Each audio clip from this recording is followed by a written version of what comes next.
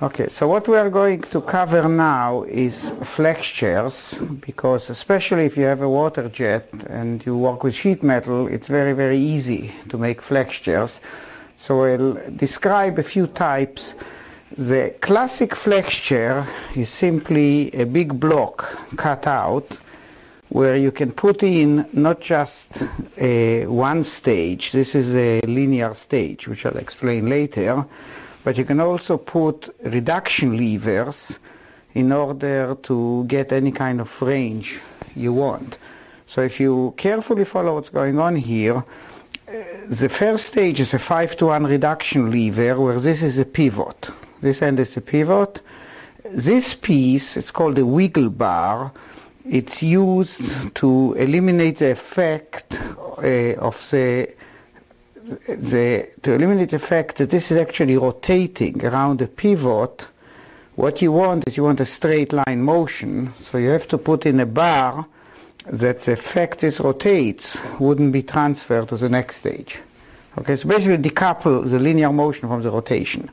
So these wiggle bars are like standard when you have multi-stage flexures. So you have, so you have here a lever with a micrometer screw, a wiggle bar and an identical lever. These two are identical designs. The pivot is on this side and there's a wiggle bar again. So this is a 5 to 1, a 3 to 1, so you get a 15 to 1 reduction coupled to a classical design linear motion flexure stage. So all this is cut out, of course, from one piece on the water jet. If you want a very high accuracy flexure, you really should pre-drill the holes because how well this moves and how linear it is, how much it follows a straight line, depends on the exact matching of all the pivot points or the elastic pivots. Now the water jet isn't accurate enough uh, to give you a straightness of travel, say in the range of one micron. So what you have to do, you have to drill and ream these holes and then make all the other cuts with a water jet. Align the water jet to one of the holes and add all the cuts. Now this way you're going to get, say, a range here, which is maybe 2 millimeters travel, following a straight line to 1 micron. Now, for example, if you look at the meter here, it's hooked up to a capacitance gauge, which measures the position of the linear stage. And the, the meter is set at the highest gain here, which is 10 nanometers per division. So you can see there is no problem moving it 10 nanometer at a time without any backlash. I can go forward and backward without any backlash and easily set it to 10 nanometer. Now this flexure is just a tutorial, so it's made of aluminum. Obviously aluminum is very temperature sensitive, about 22, 23 ppm per degree, so uh, even you can't have aluminum if you want the stability. So in real life this will have to be cut out of Invar or maybe some glass like quartz or some other material which is very stable with temperature. You can see because it's made of aluminum, say if I put it somewhere and I just put my hand over it without touching it, it just drifts from the radiated heat from my hand. It already drifted like 100 nanometer just from the radiated heat. If I take my hand away, it's going to drift slowly back drifts uh, slower one way than the other. So obviously this is not designed for this kind of stability, but the principle, the layout is, is classic flexure. You can make those at any size, of course. Uh, now this is an example I showed earlier. This is a uh, that's about as small as you can make on a water jet, because here the arms which flex are about 0.3 millimeter, 0.4 millimeter wide, and that's about as narrow a parallel arm you can cut on the water jet reliably. Uh, so this is made from a type 25 beryllium copper, which is very, very flexible and very nice to work with. And it's a bit similar to that, although you can't quite see it here in details. As I mentioned before too, you, the nuts are actually inserted in little water jet cut slots, so you don't have to do any machining or tapping except uh, going over the middle hole with a reamer or a drill. Now, these flexures are limited by the elastic range of the material. So if you, even if you take very good steel, the elastic range is 1%. So uh, you can't have large travel, but what you can do, you can make flexures where the flexing parts are nitinol. And nitinol has an elastic range about 10 times steel. Now it's an expensive material, it's too expensive to cut out the whole block from nitinol, but what you can easily do is you can do the same design from sheet metal and nitinol. So this linear motion is the same as this, so I'll, I'll show how it works. So if I hold down the base and I move this, this is a moving part. Now you'll notice that the moving part moves x, the sidebars move half x, so you can't clamp it by the sidebars because they have to move. So let's show it again. So if I hold it here, this is a base, this is a moving part, okay, and you can see the sidebars also moving half the amount.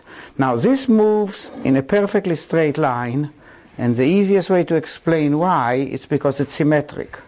So because of symmetry, why would it go one way and not the other? Now, it has high, high stiffness in this plane because these white strips would have somehow to buckle. Okay? It has high stiffness in this plane because these strips would have to tension, to stretch. Uh, it has high stiffness in any kind of rotational motion. In the only direction it is soft is this way. Okay? And because it's nitinol, you can have, this is a 20 millimeter range flexure, which is quite nice.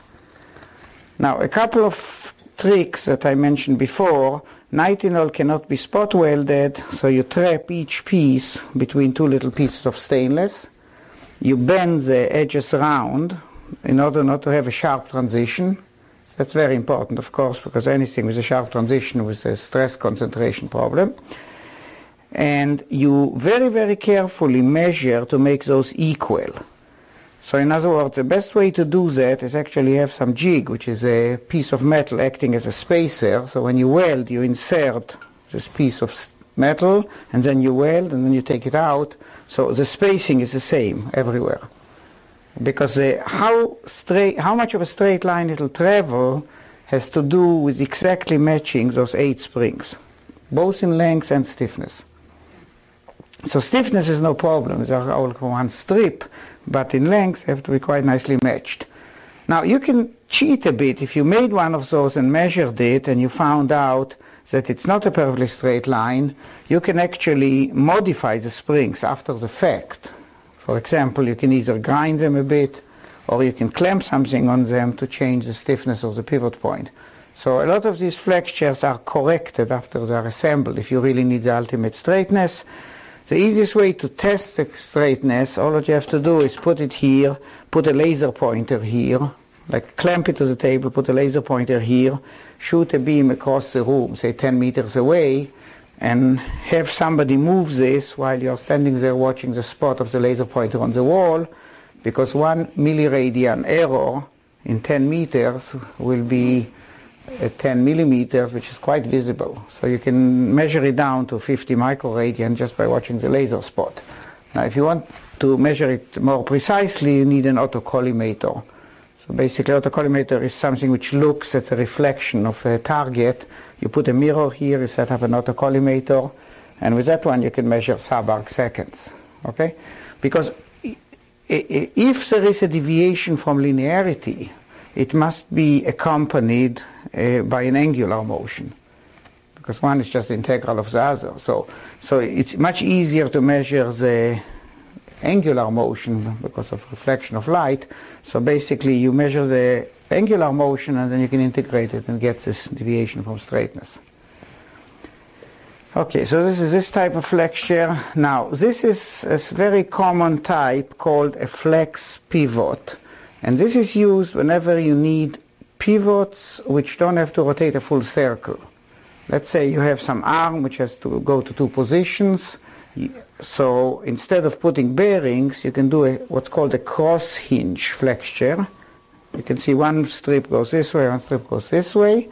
So over small angles, it behaves as if there was a real pivot here. In other words, the center of rotation is fixed. To illustrate there, I connected two pointers here one pointer on each arm, and you can see where the two pointers point to each other. So when I tilt it at small angles, the tips of the pointers don't move relative to each other. At a big angle, the pointers will separate. But for small angles, the tips of the pointer behave as, if there was a pivot point there. Okay, and this also is made of nitinol, so it can bend 90 degrees. Okay. So that's a classic cross hinge. Now, the general advantage of flexures over traditional methods like slides uh, is A, no lubrication. So it's good in dirty environment and you, you never worry about having to get there to lubricate it. Number two, no wear. Okay, obviously it's just flex flexure, there's no wear. If you design it right, there is infinite life. Okay? And now, number three, no backlash. Because, because any stage like this, you have to add some preload with a spring. You have to be always careful about backlash and also sideways. You have to adjust the preload screws carefully. It says here factory adjusted. Because once it wears a bit, there's going to be a bit of looseness. Now, in this thing, there is never going to develop any play or looseness. Okay, so these are three huge advantages. Okay, now the biggest advantage, the fourth one, that it's basically free. Because if you have a water jet, all you need is a piece of scrap metal. Now this, these things cost at least a hundred, hundred bucks, right? And this is free, basically, it takes five minutes. So, and you can incorporate it into your design, like integral flexures. So especially for R&D, for students, you can make as many of those as you want. Okay. Uh, so that's, yeah, one, one comment about what limits the uh, elastic range, because in order to have infinite life, you cannot use up all the elastic range. Elastic range means uh, a deformation after which it doesn't return anymore to the uh, if you go beyond the elastic range, it will stay permanently deformed. So if you want infinite life from flexures, you shouldn't use up more than about two-thirds of the elastic range. Now the exact number depends on the metal. In some metals you can use up 70%, some metals you cannot exceed 30% in order have infinite life. But just as a quick and dirty rule, if you bend something in a flexure and you find out the elastic range, you know, never, never go more than two thirds of it, preferably stay below half of it, and then it will last forever.